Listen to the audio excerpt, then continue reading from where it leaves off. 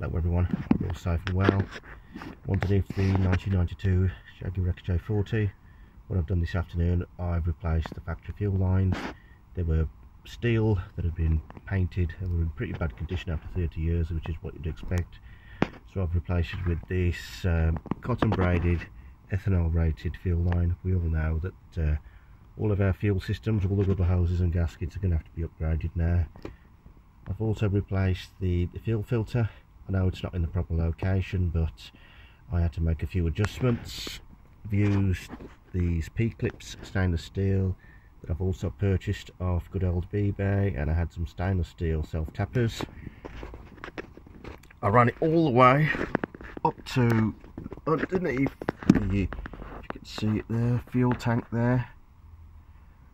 I would have liked to have gone further up but I don't really want to take the, the fuel tank out and replace everything. So basically if I have to replace the fuel tank or the fuel pumps in the future I'll do all that then. So that's all for now. That's all. Stay safe and well